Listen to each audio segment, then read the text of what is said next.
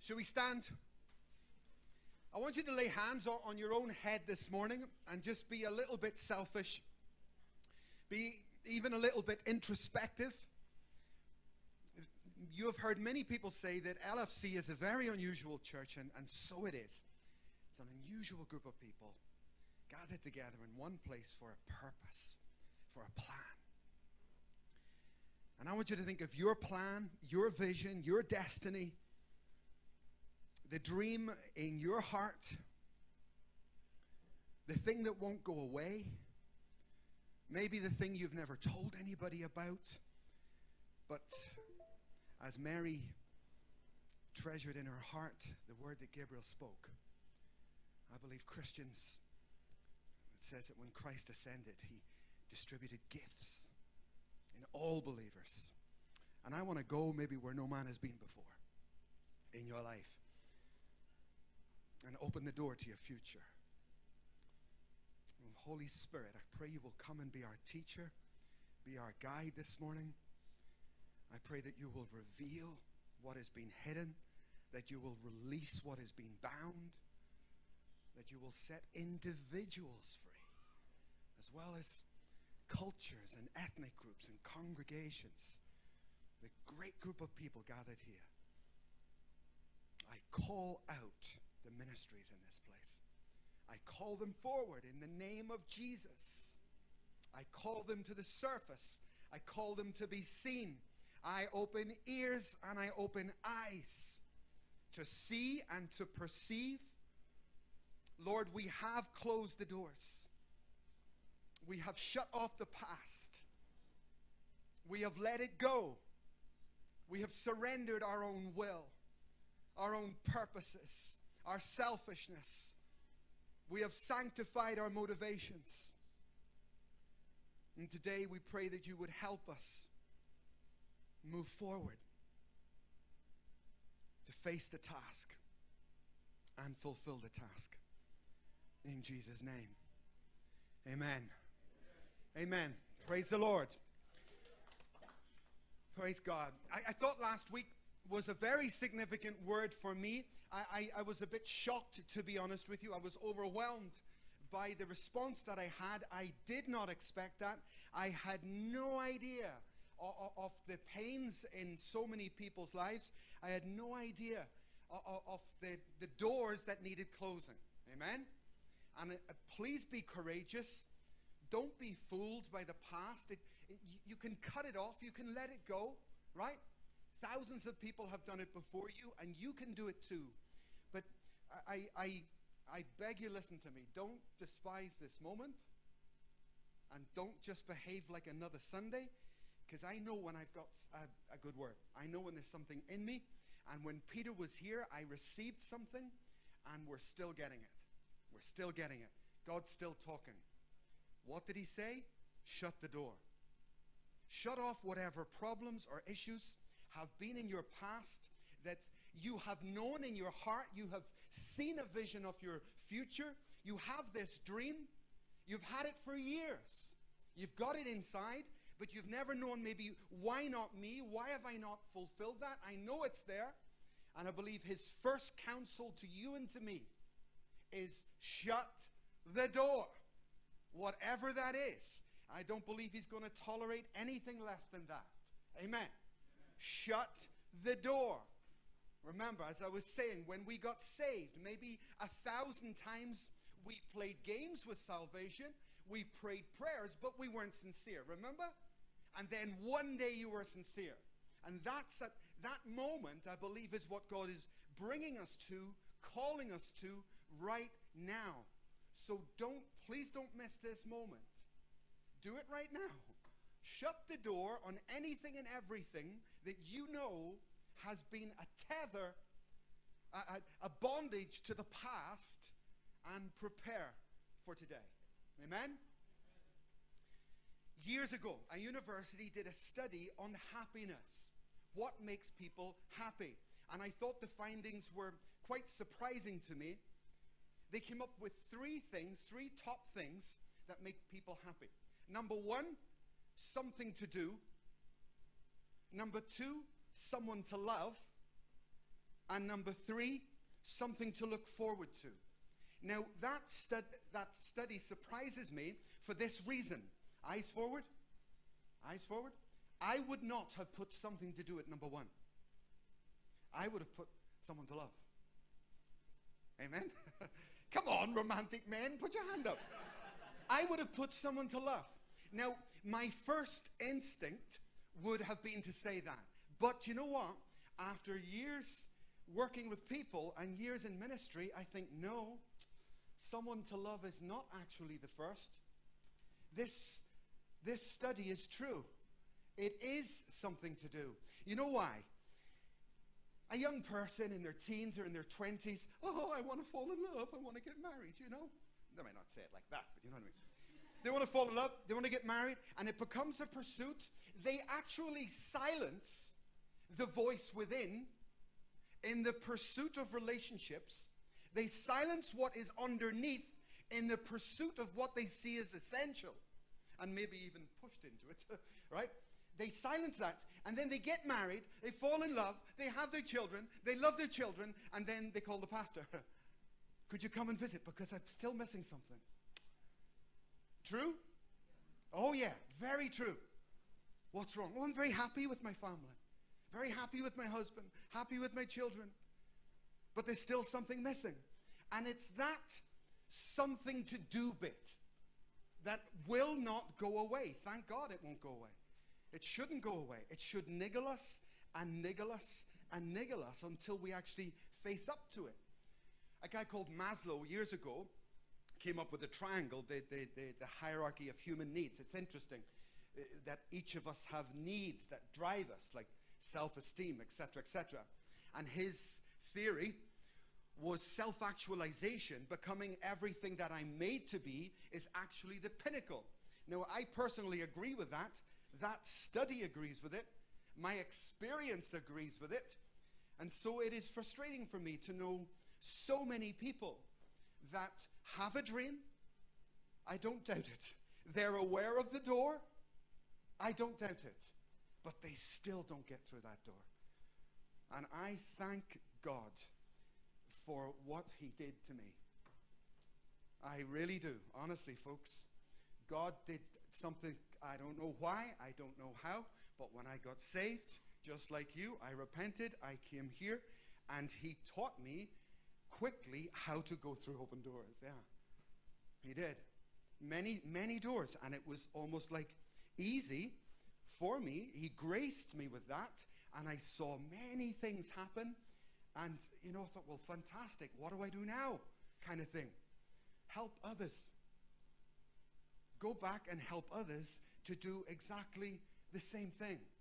Because so often, what blocks you can be a very small thing, not something complicated, not something major, but some minor tweak, some minor thing that all these years have been holding me back.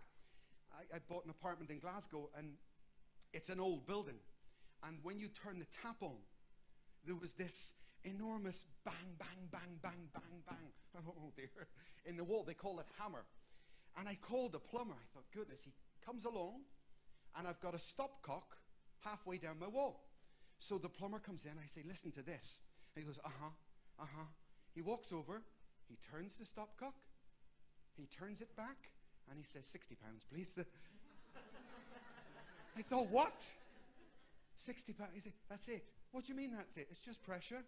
Oh, tiny, tiny little things, insignificant little things that actually make a huge difference. So often that is the case. It's not something we lack, it's not something else we need. It's, it's so often something I'm not obeying or not believing correctly. Years ago, Europe has changed considerably. But years ago, when you traveled around Europe, there used to be multiplied border checks. And when you drove up to the border, the guard would stop your car and they would have the same three questions Where have you been? Why are you here? And where are you going? Three very good questions. Where have you been? It's important. Why are you here? And where are you going? And in terms of vision, those three things are particularly critical, right? I need to ask and assess where I've been in case it's holding me. I need to ask myself, why am I here? And I mean, above all, really, I need to know where I'm going.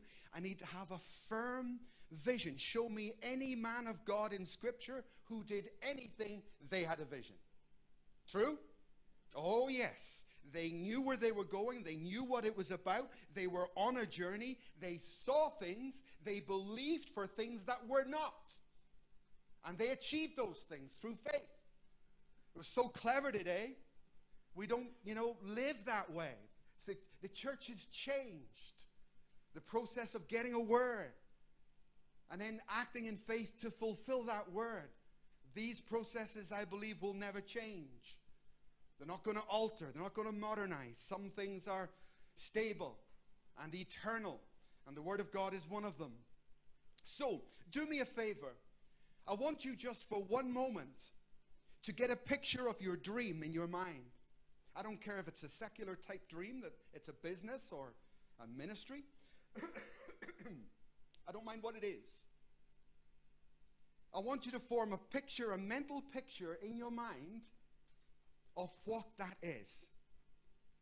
And my first point to you today that vision is possible in principle. Amen? Just in principle. It is possible, it's not impossible. As you know, I run, I love to run. It's excellent, I enjoy it.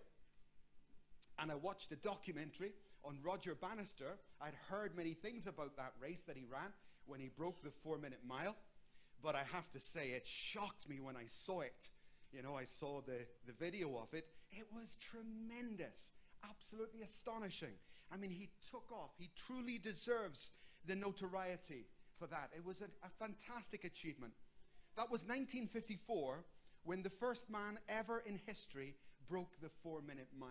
The Romans were determined to do that. I told you. The Romans used to get the runners and have lions and they released the lions to chase the runners because you're going to run for your life. Wow, that's what they did. They couldn't break that. I mean, it's amazing. The, the, the power of the human mind, the strength of that stronghold. I cannot do this. Roger Bannister was an exceptional person. He believed that it was possible for him to break that. That was 1954. Up to today, 20,000 people have done the same thing. Once we realize that something is possible in principle, it loses its power. It loses the ability to say, well, you can't. Oh, no, well, actually, it is possible. Remember, I shared on camp last year. Teleportation is possible. I mean, that just blows my mind. It's possible in principle. This pulpit here it appears solid. It's not solid. The whole thing's held together by, by vibration, right? And if you get the frequency right, everything's held together by the power of God's word, which is voice, which is universe, one word. The whole thing is scriptural. But this thing can be deconstructed in a second. And they've actually, in principle, now understood that they can deconstruct and reconstruct. Goodness, I mean, it blows my mind. Amen? It's astonishing. It's possible in principle. Now, your vision is probably a lot less complicated than deconstructing this pulpit. Amen? A lot less complicated. And we do overcomplicate the, you know, the view of our, of, of our future. We humanize it. We take God out of it. And that's maybe why some of us are stuck. So, point one, very simple. The vision that you have within your heart for your life is possible in principle. Point number two it's possible for me personally. That's me, that's you. And you need to believe that, that whatever God has given me, whatever's on my heart, I can achieve this. I can do this. Eyes forward, please. Stay with me. I, I, talk to you from personal experience. I, I think, I don't know if I told you this before. This is partly embarrassing. I was going to Ireland and I was on the boat. I had to get a house, blah, blah, blah, somewhere to live. And I walked into this crescent of a street and I had the number, had the number of the house. And I was going to be living in this house for a couple of years, you know. So I walked into the street and you've got all these houses up. And up at the top, there's a beautiful. And I know one of these houses is the one I'm going to be living in. As soon as I saw that house, my flesh said to me, It's not that one. You're not going to be, li- it'll be one of the others. That's too good for you. Yeah. Been there, done that. Don't be like that. I'm just telling you the truth. I was a Catholic. My religious nature felt you're not worthy. As soon as I thought that thought, I took that thought and I, I, I reject that. I should not have thought that. Still thought it. I started to walk up. Guess which house it was? It was that house. Good lesson, Lord, right?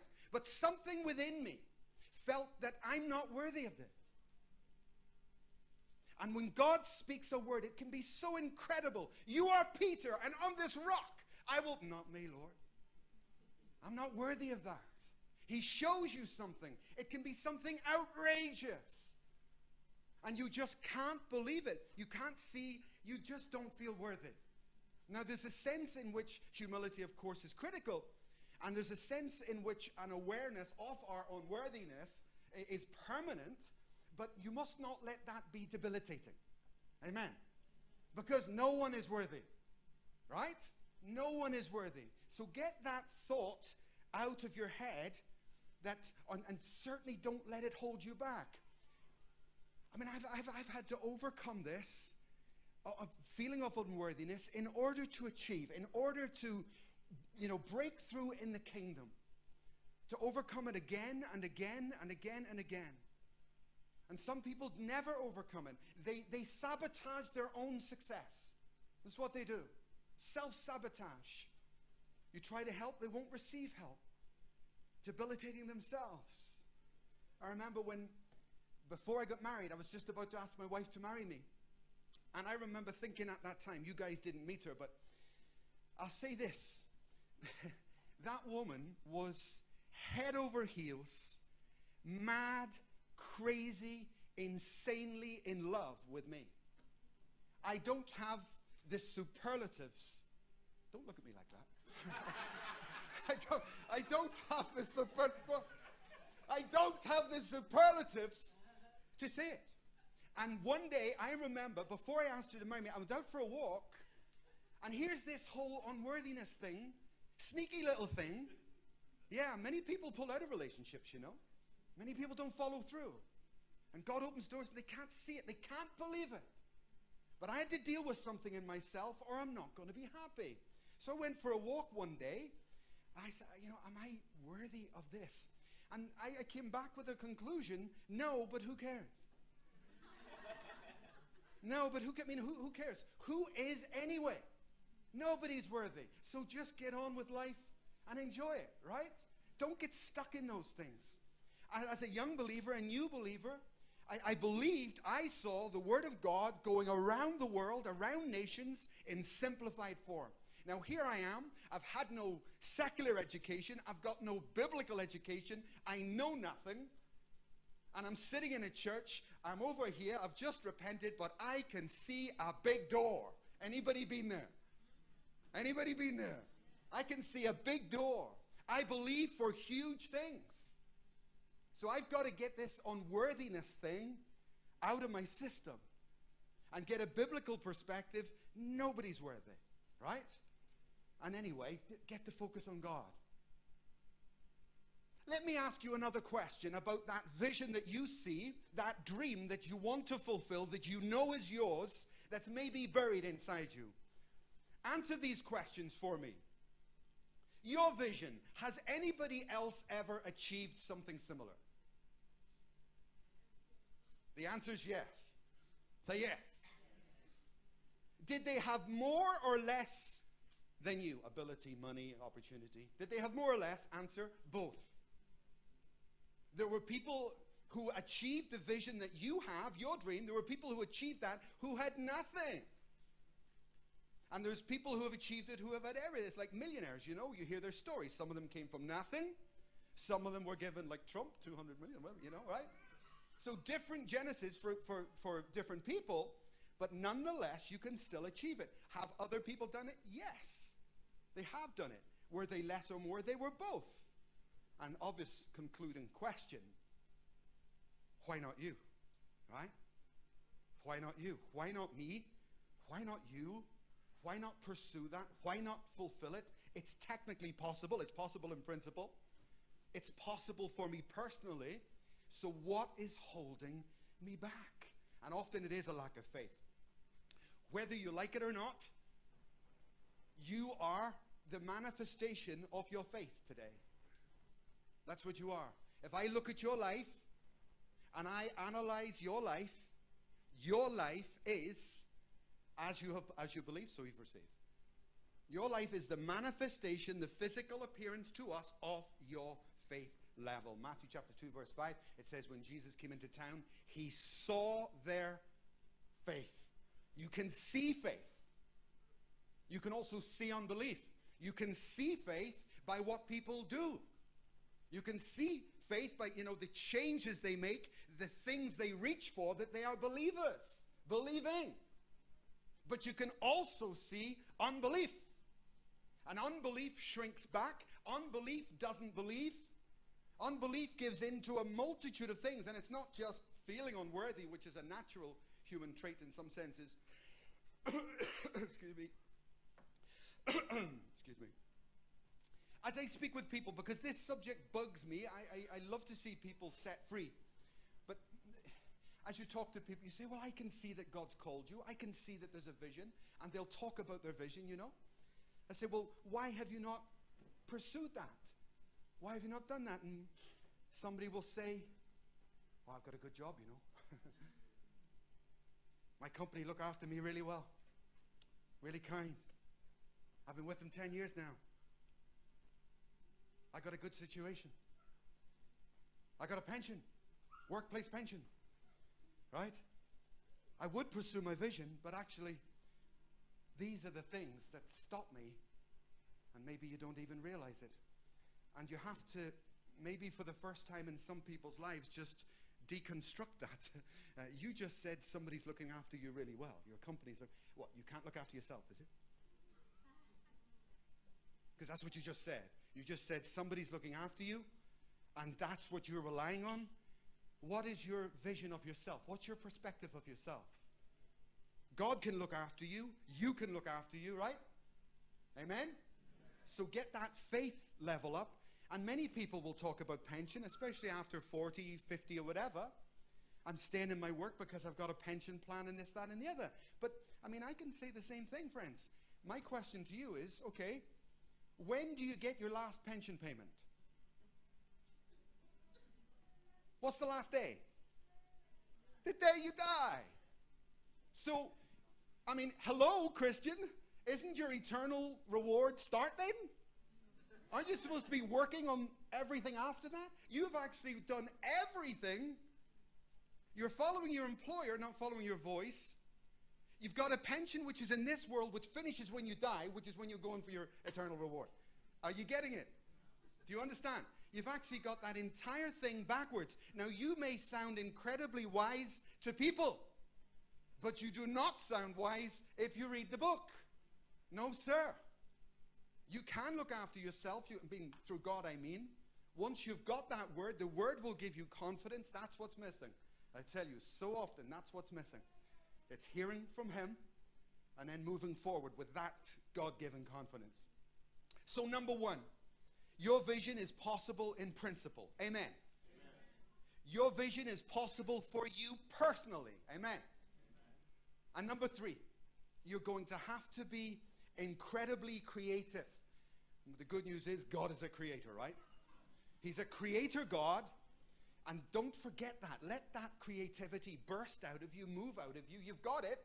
It's just releasing it. I titled this message very carefully. We could have said achieving your dream, chasing your dream, pursuing your dream. I said releasing your dream. Because everybody, I believe, has got something inside them. Worship team, preachers, pastors, listen to me. LAW people, listen to me. You have to be creative. Get in the zone of creativity. Get into that place and minister out of that. You've got two choices. You can have performance or creation. Two choices. The world has performance, and we're supposed to have an endless supply of creativity. Performance is plastic, it's reproduction, it's dead. Create you are an original copy, right? There's only one of you. You're made to do something, to be something, to give something, to sing something, to go to somewhere. You are a one of a kind, a one off, and that is where the creativity comes from. Do not, do not, for anybody's sake, stifle that. I'm telling you, don't stifle it. Have you got any idea the number of people who've been offended with me? Thousands of people have been offended with me. They say, well, this, this other guy doesn't. That's fine. I'm not him.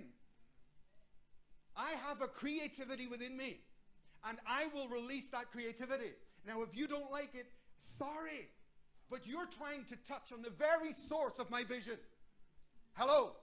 I will not compromise on who I am in God and who He has made me to be. So if that doesn't if that doesn't rhyme with you, no problem, but it's not my problem. It's not my problem. I have a job to do and I will do it. You know, one of the most famous quotes of all history was Henry David Thoreau. Listen to this. If a man does not keep pace with his companions, perhaps it's because he hears a different drummer. And you need to be careful who you're trying to keep pace with, who you're trying to please. Have you ever been on the tube and somebody's sitting with their headphones on going, and you don't get it? But he's got it.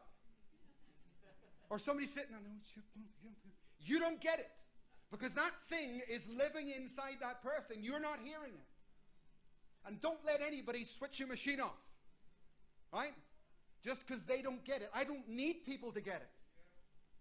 I, have warned you this many times because I know it's a major issue until you get over that point. The, the best worship leaders on this planet are not performance orientated, they are creative. The best singers, the best authors. They're original, they're one of a kind. They know who they are, they found who they are. And then you don't compromise. You compromise because you're performing. Oh, is that not good? Do you want me to do it like this? Ah! Who needs it? Who needs it? The world can do it better anyway. Yeah. You think, I mean, just, just, we could be here all day. History is studied with people who found who they were and then, in an uncompromising way, released it. Not caring what anybody thought. Bob Dylan. Can Bob Dylan sing? I can sing better than Bob Dylan. True? The answer is blowing in the wind. 100 million copies. It's, it's, it's incredible. Do you know what? When he was singing, people were listening not to a performance. Someone had found their hearts. That's all it is. There's loads of them. Leonard Cohen just died, right? I grew up with Leonard Cohen. Not with Leonard Cohen, with the music. It flooded our house. Nearly the whole family liked him. Ah, he's a fantastic artist. But, I mean, please, people, you have to be joking. I don't know if you're familiar, but it's, they call it music to kill yourself by, right? They make fun of him. The average Leonard Cohen line goes something like this I put the noose around my neck. I climbed up on a chair. You know, it's just, oh God, no. He's incredibly depressing. But Cohen, to be honest, Cohen was a genius. He was one of a kind. Started as a young man and he's still singing, producing albums in his 70s. Amen. It's fantastic. So you don't like it? He doesn't care. You don't like Bob Dylan? Bob Dylan doesn't care. He doesn't need your approval. Amen. Many of you are doing what you're doing for other people, right? Mistake. Mistake. You can't even get off first base if that's the attitude. I like Nobel Prize winner for literature, W.B. Yeats. Couldn't spell. Yeah. Fantastic. Couldn't spell. His whole life he couldn't spell. But he was bursting with creativity. So he used to just write it out, you know, fix that, you know? Yeah. Couldn't spell. Fantastic. But didn't let that little thing stop him. Didn't let it you know, don't let anything stop you. Don't let the opinions of people stop you. Dylan doesn't care, but he's not doing what he's doing for them. Are you enjoying this? I don't care. Hallelujah. Praise the Lord. Amen. I wrote out some things here. Go home and sing in an empty room. You get the picture? If you're a painter, go get into a deep cave where no one will ever go and paint on the wall. Why? I don't need a reason why. It's who I am, it's what I do. And that's the zone, that's that door there. There is a door, there is a vision. Christians are not wrong. But what they do is they we see performance, we see things, and then we try to emulate that. We assimilate to the churches. We come in on fire. We come in with a dream. We come in with a vision. And so quickly it is lost. It is tampered with. It, it's ruined. Don't do it. Don't do it. Not just worldly artists who found themselves, but Christians. Francis of Assisi, unique, used to talk to the birds, preach to all these animals. You know, open up in Genesis chapter 3, and off he goes. And he didn't care what people thought. John Wesley was famous for riding horseback all around this country, right? And what did he do? He's preaching to nobody. And he did it for years. He wrote about it. He didn't care. I don't do what I do for others. I do what I do because it's who I am. And you need to get that so it becomes. Did you see X Factor a few years ago when James Arthur won? There you had a spectacular performance. Nothing wrong with it from his opponent. Better singer, better technically, better in every way, probably. But then you had James Arthur, who just, from his soul, from his heart, lets it, and I'm just vote, eh, you know, right? That's the part of you I want you to find. And you've got to find that, and then I promise you, you need to fight for it because the world comes after you, church comes after you. Pastor Simeon was praying when Peter finished a few weeks back, and he was praying for your future. And I had a vision when he was praying for you. Listen carefully to me now. I had a vision for you. I saw maybe your stumbling block, or at least some of you. As he was praying for going through those open doors, closing off the past, I saw some of you looking to the future with great excitement, and you saw like a massive, wide highway. So secure, so I can dance on this highway. And God said, uh, sh- sh- Stop that. And he showed me like the sea and stepping stones. Faith. Every step requires new faith. New faith. You with me? And when you get that vision for the future, it can be like a one day what no, no, no, no, no. This door is a walk of faith. It's day by day. It's every day with Christ. It's ongoing. So don't get a, you know, idealistic or oversimplistic perspective on achieving vision, even in the first step. It's a step of faith. It's faith. And that faith will be, uh, will have to continue into faithfulness. Fourth point never give up. So once you've got that vision from God, you've shut off the past, you've closed the door, you've turned and you're facing your future. Now, never give up. Excuse me, I gave you the example of the Chinese bamboo tree there. You've probably heard that, but it is a phenomenon, isn't it? They, when you plant a Chinese bamboo tree, you put it down in the ground, and then you have to water that thing for five years, and nothing appears but, uh, above the surface.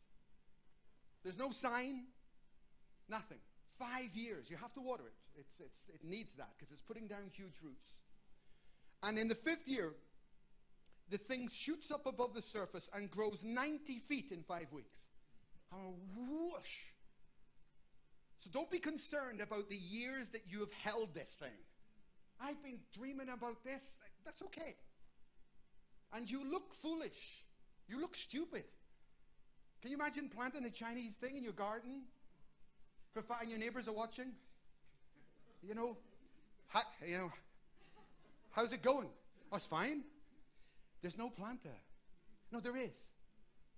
You haven't got a vision. Yes, I do. Other people can't see it. Other people can't hear it. And you need to find that voice and then be ruthless, and I mean it, to the fulfillment of whatever that is God has given me to do. You've got to do that in a non religious way. Now, let me say something here which is important for all of you for the way forward in terms of accountability. Scripture always talks about two by two, right? Not one, not, you know, Lone Rangers. Two by two. Now, just out of interest, let me see a show of hands in this place. If you have a dream, I don't care if it's a business, a career, anything whatsoever, ministry, if you have a dream in your heart, they're up already. Praise the Lord. Put your hand up. Okay, praise the Lord. Excellent. That's what I thought. Don't answer this question Who's your mentor? Just think about that a moment. God doesn't do Lone Rangers. It's not there. You're not going to find it. It's not in Scripture. They always have the mentor. Now, let me say, your mentor is not a pastor normally. When I got saved, and this is what I mean about my early years, God definitely graced me for a purpose, for an end. Uh, I got saved. I was in a very good church with an excellent pastor. But that pastor is limited. He's a great guy. But I've got this dream that the Word of God is going to be simplified and go all over the world. And I look at him and think, mm, nah, because he's never done that. How can he help me if he's never done that? But there was a guy who I knew who had done it. And I asked permission. I'm just going to go and, you know, be part of this other guy's ministry, but I'm still under your counsel. Listen to me. Accountability in the church, very important. To your pastors, for your life, for your home, for everything. In the church, it's important. I'm not talking about that. I'm talking about vision. And for that, you need a mentor. You need a mentor. You need someone who's already done what you see God's calling you to do. Are you with me? You have to find that person. It's a person. You have to find that person. I've had several. Peter's one of them. Not the only one. I've had several over the years. But my first one was when I was under my pastor. I knew I had a vision. I'm going to be involved in the Word of God. That's what I'm going to do. But you, sir, can't help me. I respect you and I submit to you in everything, not this. So give me permission. I'm going to this other guy, which is exactly what I did. And for three years, that guy mentored me, taught me, instructed me, and that helped me grow. And then you just got over the stepping stones. So some of you are stuck at the pastor phase. You're stuck at that level. You know what Jesus said one day? He said, My peace I give you. Remember? Whose peace? His peace. If you haven't got it, you can't give it. My peace I give you. And if someone has not achieved the thing, the vision that I see, how can they help me? They can't help me. So you need to think good accountability here. Make yourself accountable in a church, of course, for all things in life. But for vision, excuse me, you're going to have to find someone. And, you know, I, I know what you're going to say. I don't know anybody. Pray about it. I've never had a problem with this at all. Never had a problem with receiving mentors. God is giving them to me at the right moment. The right person comes along who's already done what I want to do, what I know I need to do. And they disciple me in that specific. Janet was praying in here on Wednesday, I think it was, about dream thieves. And I, I, don't have time today to talk about it, but there are dream thieves. There are, you know, ah, yo, I don't let them bother me. I tell you the truth, I don't let it bother me. Long time, I don't let it bother me. I don't care. But as soon as you articulate, it, I mean, read scripture. As soon as you articulate a dream, what happened to Joseph as soon as he said a dream? right? Soon as he, soon as he says it, they're out to kill him. As soon as the wise men come, what happens? Herod wants to kill. Right? And anybody, anywhere in Scripture where you see this voice, you also get attack. So you have to be pre- kind of prepared for that. Um, basically, folks, sorry to break the bad news, but there are people, Christians, on this planet whose sole ambition is to take your dream. Their, their goal is to wake up each day and think, hmm, it's just life. They, they come, you really shouldn't do that. Or they'll find a way. Some of them are lovely, some of them are absolute demons. come in all shapes and sizes, forms, all forms of reasoning. Some will be super sweet. Some will try and tempt you out of it. Some will try and talk you out of it because they haven't done it. Some will attack you. But from multiplied ways, these dream thieves, as you termed it, these dream thieves do come, and you must be prepared. I've taught on vision and all that kind of things in many countries, and you know, you do a day like this or you talk like this, and someone will come up and say, I got it, I got it, I got it, I got it, I got it, I got it. You know? Ah, that's fantastic. I'm going to go here, I'm going to go, and you come back two years later, it's just still there. What happened? Say, what happened? I remember you. They think you forget, you know. I remember you. You said you were going to do A, B, B, B. And invariably, it's the same problem. Oh, yeah, after you left, I, I, I spoke to Uncle, Uncle Jack. Oh, was it? He said you can't do it. Yeah. He said he tried that, and it didn't work. And he said this, and he said, do you know what? Ay, ay, ay, ay, ay. You have a choice. We all have a choice. Who are you going to listen to? What voice are you going to obey? And the more you listen to them, the more they'll talk to you. The more you take it in, and the less you're going to fulfill that dream. I have a zero tolerance policy for anything to do with where I feel God is taking me. Because I know if I sacrifice anything of this, that's not good. You have to be completely sold out. Shut the door. You have to be completely sold out. And then these things are relatively easy. The biggest battle is within, being polite to those who oppose as much as possible and then just going full on, full throttle for it. Look at the creativity in this room. It's all around us. People with immense capabilities that are never, you know, released, never known. God, help us and forgive us. And help us reach the goals to which He's definitely calling us in these days.